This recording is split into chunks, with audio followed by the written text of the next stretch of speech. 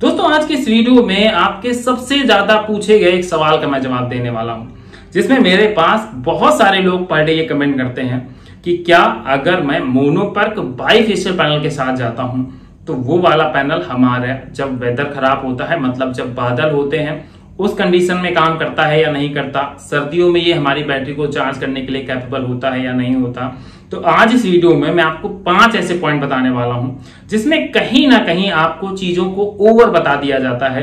क्योंकि अगर आप एक मोनोपर्क बाईफिशियल पैनल की कीमत देखेंगे तो करीब 40 से पैंतालीस हज़ार रुपए बैठती वहीं अगर हम लोग अपनी पुरानी टेक्नोलॉजी मतलब पॉलिक्रिस्टलाइन टेक्नोलॉजी की बात करें तो उसकी कीमत पच्चीस रुपए, अट्ठाईस रुपए, तीस रुपए पर वाट के हिसाब से बैठती है। मतलब तीस हज़ार रुपए में आप एक किलो वाट का पॉली पैनल परचेज कर लेंगे। वहीं अगर आपको एक किलो वाट का मोनोपर्क बाईफिशियल पैनल परचेज करना है तो वो आपको करीब चालीस से पैंतालीस हज़ार रुपए के बीच पड़ेगा। और इस पंद्रह हज़ार का जो डिफरेंस क्रिएट किया जाता है, उसके बीच इसमें कुछ ऐसे मिथ्स डाल दिए जाते हैं, जिसकी वजह से एक कस्टमर जिसे नहीं पता होता सोलर के बारे में, वो इन बातों में आ जाता है और वो मोनोपर्क बाईफेशियल पैनल की तरफ़ चला जाता है।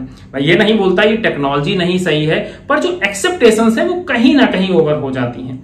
तो अगर आप अपने लिए एक मोनोपर्क बाईफेशियल पैनल का एक सोलर पैक या सोलर सिस्टम लगाने वाले हैं तो क्या रियलिटी है इस पैक की?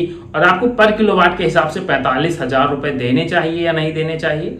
आज इस वीडियो में यही पूरा डिटेल के साथ डिस्कस करेंगे, जिससे आपको जो हर एक पॉइंट है वो क्लियर हो सके। क्योंकि आप जो लोग मुझे फॉलो करते हैं, वो सभी जानते हैं कि मैं अपने वीडियोस के माध्यम से सिर्फ़ आपको ट्रुथ बताने की कोशिश करता हूँ। और इस वीडियो में मैं किसी कंपनी के बारे में डिस्कस नहीं करने वाला, मैं डिस्कस करने वाला हूँ टेक्नोलॉजी के ऊपर। क्योंकि पी टाइप हो गया एन टाइप हो गया मोनोपर्क बाईफेशियल पैनल हो गया इनके ऊपर कुछ ज़्यादा ही चीज़ें बताई जाती हैं। तो चलिए शुरुआत करते हैं आज के हम लोग अपने इस इंफॉर्मेटिव वीडियो की। उससे पहले अगर आप लोग चैनल पर नए आए हैं तो अभी जाके सब्सक्राइब कर दीजिएगा, क्योंकि सोलर पैनल के जो ट्रुथ है, वो आपको इतनी क्लैरिटी के साथ कोई और नहीं बताने वाला। और अगर वीडियो अच्छा लगे तो वीडियो को लाइक करिएगा और अपने दोस्तों के साथ शेयर करिएगा, जो बाई पैनल इस सोच में लगाने वाले हैं कि वो सोलर पैनल उनका ज़बरदस्त काम करने वाला है। तो चलिए शुरुआत करते हैं इस वीडियो की।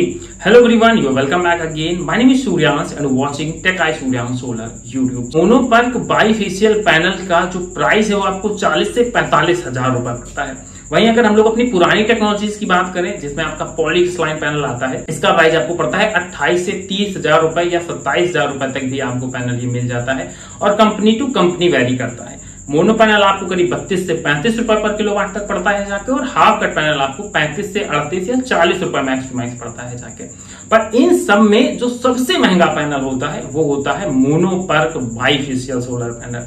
और इसके ऊपर जो दावे किए जाते हैं, उनके बारे में एक एक करके बात करते हैं। तो ये वीडियो इंफॉर्मेटिव है तो कंप्लीट देखिएगा, जिससे आपको कंप्लीट जानकारी हो सके और दोबारा से आप इस मिथ में ना रहें कि जिस हिसाब से आप अपनी डिज़ायर के हिसाब से कोई अच्छी टेक्नोलॉजी परचेज कर रहे हैं और परचेज करने के बाद आपको लगे कि आपने ज़्यादा पैसा इन्वेस्ट कर दिया और आपको जो आरओआई रिटर्न ऑफ़ इंटरेस्ट निकल कर आया वो आपका आपको सेटिस्फाइड करने वाला नहीं है। वाकई बादल के मौसम में, बरसात के मौसम में और सर्दियों में ये पैनल इतना ज़बरदस्त काम करता है या नहीं करता? इसको समझने से पहले हम लोग एक एक टेक्नोलॉजी के बारे में समझते हुए चलते हैं। दोस्तों, अगर देखिए, बादल का मौसम है या सर्दी है, धूप नहीं निकली है ऐसी कंडीशन में अगर आपका पॉली पैनल है तो वो भी कुछ ना कुछ एनर्जी 100 परसेंट जनरेट करता है।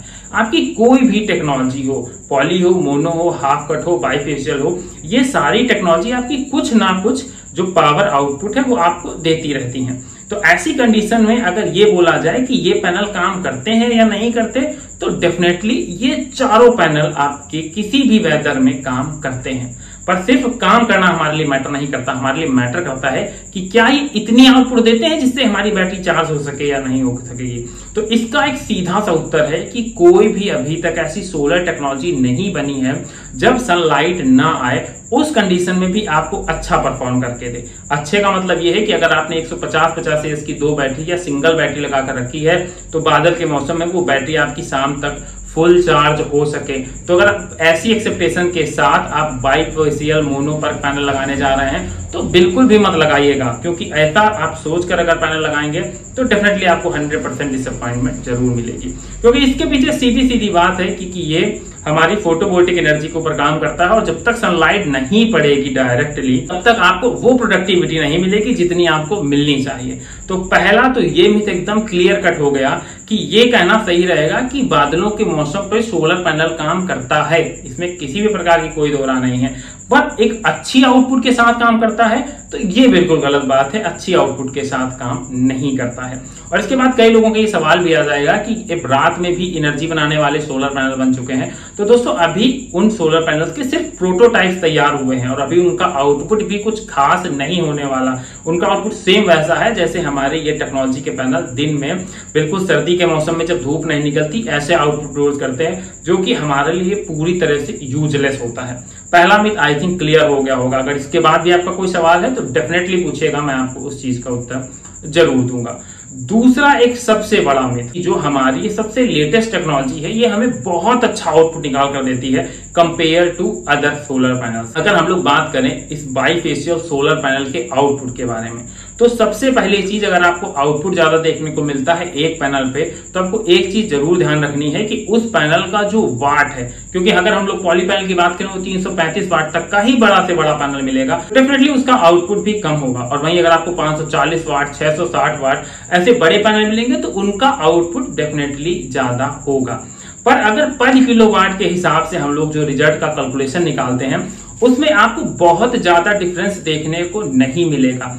और बाई फेसल पैनल के साथ एक सबसे बड़ी खराबी भी होती है कि आप इस पैनल को जब स्टेब्लिश करेंगे, इसको इंस्टॉल करेंगे तो उस वक्त आपको ये भी ध्यान रखना है कि जो आपकी रूफ है, क्योंकि बाइफिशियल पैनल ट्रांसपेरेंट होता है, उस पर सनलाइट ऊपर से पड़ेगी और उसके बाद वो पैनल क्रॉस करके नीचे सनलाइट जाएगी। और उसके बाद बैक से दोबारा जब अगर आपका फ्लोर रिफ्लेक्टिव है व्हाइट कलर का है या वहाँ पर सेंड मतलब रेत पड़ी हुई है इन दैट कंडीशन वो रिफ्लेक्ट होगी तो जब सनलाइट वापस जाएगी तो उस कंडीशन में वो दोनों साइड से एनर्जी को जनरेट करेगा।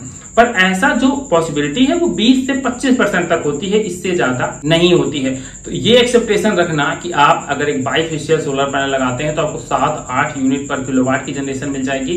तो ये एक सबसे बड़ा मिथ होने वाला है। आपको एक पॉलिक्सलाइन पैनल जब अच्छी कंडीशन होगी तो चार से साढ़े चार यूनिट तक की जनरेशन देगा। और वहीं अगर आपका बाईफिशियल पैनल लगा है तो वो आपको साढ़े पाँच से छह यूनिट तक की ही जनरेशन देगा। इससे ज़्यादा की जनरेशन बहुत ही अनुकूल वातावरण है, उस कंडीशन में दे सकता है। अब अनुकूल वातावरण की बात आ गई है तो वो भी आपका चेंज कर दूँ। सोलर पैनल हमारा जो 25 डिग्री सेंटीग्रेड होता है, उस कंडीशन में काफ़ी अच्छे से काम करता है। अगर इससे ज़्यादा टेम्परेचर बढ़ता है तो पॉइंट के हिसाब से ये डिग्रेशन करता है। मतलब जितनी ज़्यादा गर्मी होती जाएगी, उतना ही आपका सोलर पैनल काम करना कम कर देगा। और सबसे अच्छा अगर सोलर पैनल की बात करें तो अगर आप यूपी बिहार जैसे एरिया में बिलोंग करते हैं, जहाँ पर पानी बरसा और उसके बाद फिर से सनलाइट निकल आई, फिर पानी बरसा। ऐसी कंडीशन में क्या होता है, जो पैनल का टेम्परेचर है, वो बैलेंस में बना रहता है। और जैसे बादल गए, फिर से सनलाइट निकली तो उस कंडीशन में जो सोलर की जनरेशन है, वो आपको ज़्यादा देखने को मिलेगी। आपने कई बार नोटिस किया होगा, अगर आपने सोलर पैनल लगाया है तो मॉर्निंग के टाइम आपकी 11-12 बजे तक सोलर पैनल अच्छी एनर्जी जनरेट करते हैं। और जैसे जैसे टेम्परेचर बढ़ता जाता है, इनकी एनर्जी धीरे धीरे रिड्यूज होती जाती है। तो एक चीज़ बिल्कुल क्लियर कट है कि आप कोई भी टेक्नोलॉजी का पैनल लगा लीजिएगा, आपको सात, आठ यूनिट तक की ज़बरदस्त जनरेशन नहीं मिलेगी। आपको जनरेशन मिलेगी मैक्स टू मैक्स छह यूनिट पर डे की। और यही सेम जनरेशन आपको हाफ़ कट पैनल के साथ मिल जाएगी। तो आप एक अड़तीस रुपए पर वाट का सोलर पैनल लगाकर छह यूनिट की जनरेशन लेना चाहते हैं, या पैंतालीस या सैंतालीस रुपए पर किलोवाट का जो पैनल होता है, सैंतालीस हज़ार रुपए का, उसे आप छह यूनिट तक की जनरेशन लेना चाहते हैं। मतलब इक्वलिटी दोनों का आउटपुट सिमिलर होता है, इसमें कोई भी दो राय नहीं है। तो ये एक बड़ा मिथ है कि हमारे मोनोपर्क बाईफिशियल पैनल बहुत ज़बरदस्त काम करते हैं। ऐसा बिल्कुल भी नहीं है। अगर आप ये सोच के पैनल लेने जाने वाले हैं तो भी मैं रिकमेंड करूँगा कि आप ऐसा सोच के पैनल लेने मत जाइएगा सोलर पैनल के बारे में तीसरा सबसे बड़ा मिथ है कि जितनी ज़्यादा धूप निकलेगी, आपके सोलर पैनल उतनी ज़्यादा प्रोडक्टिविटी बनाकर देंगे। तो दोस्तों, ये भी चीज़ एक काफ़ी बड़ा मिथ है। सोलर पैनल की जो सबसे हायर आपकी जो आउटपुट होता है, वो अप्रोक्सीमेटली 24 से 25 डिग्री सेंटीग्रेड पर होता है। क्योंकि जैसे जैसे आपका दिन ढलता जाएगा सोलर पैनल हीट होते जाएँगे, वैसे वैसे उनकी प्रोडक्टिविटी कम होती जाएगी। सोलर की जो सबसे अच्छी कंडीशन होती है वो आउटपुट की, ऐसी कंडीशन में जब हमारा टेम्परेचर भी गिरने लगता है धीरे धीरे सनलाइट भी प्रॉपर आती है, ऐसी कंडीशन में हमारे सोलर पैनल सबसे अच्छी आउटपुट देते हैं। तो मई, जून की जब सबसे ज़बरदस्त गर्मियाँ पड़ती हैं ऐसी कंडीशन में जो धूप तेज हो जाती है सोलर पैनल गर्म हो जाते हैं तो एक टाइम आता है कि एक या दो बजे के बाद आपके सोलर पैनल का जो आउटपुट होता है, वो आउटपुट धीरे धीरे रिड्यूस होने लगता है। तो ये एक काफ़ी बड़ा मिथ है कि जितनी आपकी सोलर पैनल को ज़्यादा धूप मिलेगी, तेज धूप मिलेगी, उतने सोलर पैनल आपको प्रोडक्टिविटी देंगे। तो इस मिथ को भी आप अपने दिमाग से बिल्कुल ही निकाल दीजिएगा। अब बात करते हैं चौथे और सबसे इंपॉर्टेंट पॉइंट की कि सिर्फ़ सोलर पैनल ही इंपॉर्टेंट नहीं होता है एनर्जी जनरेशन के मामले में। इसमें एक बहुत बड़ा रोल प्ले करता है हमारा इन्वर्टर और इन्वर्टर के अंदर जो कंट्रोलर लगा होता है, उसका सबसे अहम रोल होता है, उसमें दो टाइप के कंट्रोलर होते हैं पीडब्ल्यूएम और एमपीपीटी कंट्रोलर पीडब्ल्यूएम इन्वर्टर की पुरानी टेक्नोलॉजी है। इस टेक्नोलॉजी का जो थोड़ा आउटपुट होता है पैनल का, वो कम होता है। पर वो अगर आप एक छोटा सिस्टम लगवा रहे हैं, एक किलो का, दो किलो तक का तो डेफिनेटली आप इनकी तरफ़ जा सकते हैं, क्योंकि अगर हम लोग इनका परसेंटेज के हिसाब से कैलकुलेशन निकालेंगे तो कुछ खास डिफरेंस देखने को नहीं मिलता। एमपीपीटी कंट्रोलर उनके लिए ज़्यादा बेस्ट हो जाता है, जिन लोगों को बड़े सिस्टम लगाने होते हैं, क्योंकि ऐसे में कैलकुलेशन के हिसाब से काफ़ी बड़े लॉसेस देखने को मिलते हैं। तो अगर आपका एक एमपीपीटी कंट्रोलर लगा हुआ है और आपका कोई हाफ़ कट मान लीजिए पैनल लगा हुआ है तो ऐसी कंडीशन में आपका वो इन्वर्टर का जो कंट्रोलर होगा, वो बड़ा एक रोल प्ले करने वाला है। अब मान लीजिए आप बाईफेशियल पैनल लगा लिया मोनो पर और उसके बाद आप पीडब्ल्यू टेक्नोलॉजी का कंट्रोलर लगाए हैं, आपको उतना आउटपुट नहीं देगा जितना आपने एक्सेप्ट किया है। तो अगर आप किसी अच्छी टेक्नोलॉजी की तरफ़ जा रहे हैं, और मैं हमेशा अपने कस्टमर्स को ये रिकमेंड करता हूँ, और कोशिश करता हूँ कि अगर वो पॉली पैनल नहीं ले रहे हैं तो वो हाफ़ कट पैनल की तरफ़ ही जाएँ, क्योंकि वो पैनल सस्ता भी पड़ता है और उसका आउटपुट भी अच्छा होता है। अगर आप एक हाफ़ कट पैनल के साथ पीडब्ल्यू टाइप का कंट्रोलर लगाएँगे तो आपको आउटपुट डेफिनेटली कम मिलेगा, और अगर आप वहीं एमपीपीटी लगाएँगे तो आपको आउटपुट डेफिनेटली अच्छा ही मिलने वाला है। तो ऐसे कुछ मिथ हैं जो आपको सोलर पैनल खरीदते टाइम इनको पहले से क्लियर कर लेना चाहिए। इसके बाद भी अगर आपका कोई भी सोलर पैनल से रिलेटेड सवाल है सोलर टेक्नोलॉजी से रिलेटेड सवाल है इन्वर्टर से रिलेटेड सवाल है तो आप फ्रीली माइंड होकर मेरे से पूछ सकते हैं। रियल और ऑथेंटिक इन्फॉर्मेशन है, वही आप सभी लोगों के साथ शेयर करूँगा। तो चलिए इसी के साथ करते हैं आज के इस वीडियो को समाप्त। अगर आपको ये वीडियो इन्फॉर्मेटिव लगा हो और लगा हो कि मैंने आपको जेनुइन चीज़ बताई है तो वीडियो को लाइक ज़रूर करिएगा। चैनल पर नए हैं तो सब्सक्राइब करिएगा और दोस्तों के साथ शेयर ज़रूर करिएगा। जो लोग सोलर पैनल भविष्य में लगवाने जा रहे हैं या लगवाने वाले हैं, उनके लिए ये काफ़ी ज़्यादा इंपॉर्टेंट और काम का वीडियो साबित होने वाला है। तो इसी के साथ करते हैं आज की इस वीडियो को समाप्त। मिलते हैं नेक्स्ट वीडियो में किसी नई इन्फॉर्मेशन के साथ। चैनल पर नए थे तो सब्सक्राइब कर दीजिएगा, क्योंकि हमारे चैनल पर आपको सोलर से रिलेटेड इंपॉर्टेंट और इन्फॉर्मेटिव वीडियो देखने को मिलते रहेंगे।